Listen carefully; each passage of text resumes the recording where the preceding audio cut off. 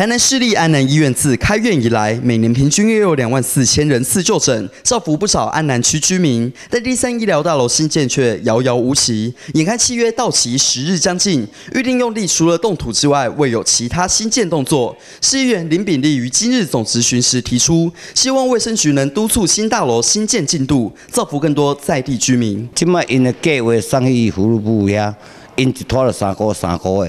你台南局长话回答，绝对超过时间，也要罚款。你罚款都无路用，按目标是要紧完成，要完成逼伊的绩效出来啊，吼，是毋是安尼？一块医疗设施嘛，伊拢有分栋嘛，一栋、两栋、三栋，伊个有分一栋要做啥，二栋做啥，三栋做啥？因为对这块就是阮卫生局监督的所在嘛。吼，伊未以前的客户就是讲，三栋要做完成，四千万回馈人来自家嘛。哦，因为一个老人土地去占了，你爱去一栋啊行人啊。哦，所以这第三栋我就监督好紧完成的，安尼这平发正完成了，是毋是安尼？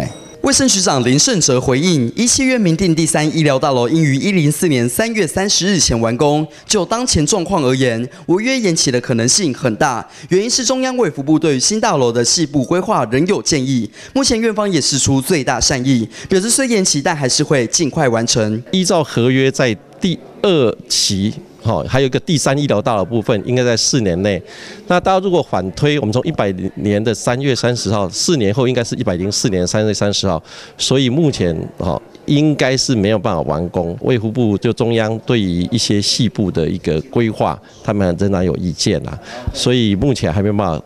动土开工的情况之下，一定会造成违反契约部分。我们市府有两个原则，第一个是逐日法啦，哈，呃，一天是五万块，那最多到数千万。所以在这个情况之下，我们还是希望他们能够呃依法，好，那延迟，但是该尽的这些如期完工的责任，还是要尽快加快办理。同时，林胜哲也提到，市府单位会坚守两大原则进行监督，延期部分以一天五万元的罚款开罚。目前第三医疗大楼设计已经完工，会采取 “M” 字形与第二医疗大楼互通，并用天桥连接第一大楼，三个大楼互有通路出入，只等卫福部同意后就可以直接开通。记者黄俊怀、杨林子、王其勋台南报道。